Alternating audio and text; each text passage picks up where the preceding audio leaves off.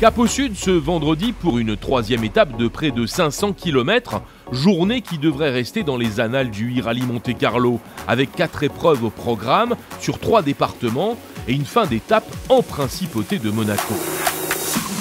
On reste pour l'instant dans la Drôme, où l'on parcourt d'abord les 20 km qui séparent Chastel-Arnaud de Crupy, et comme point d'orgue le franchissement du col de la Chaudière et du col du Gourdon, ce qui constitue la spéciale de régularité numéro 8.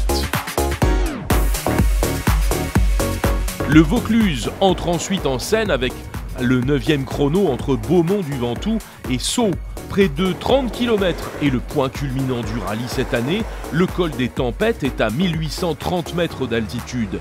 Sa Majesté le Mont Ventoux marquera sans doute les esprits et les mémoires.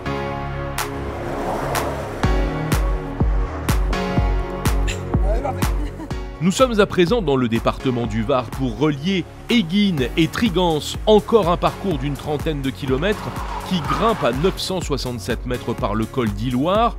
C'est l'avant-dernier secteur de régularité de cette journée de vendredi.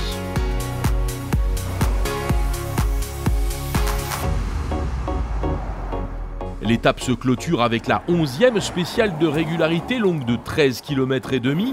Elle est disputée dans le Var également, entre Montauroux et Tanneron, en longeant le lac de Saint-Cassien avant de se lancer sur le routier en direction de Monte-Carlo.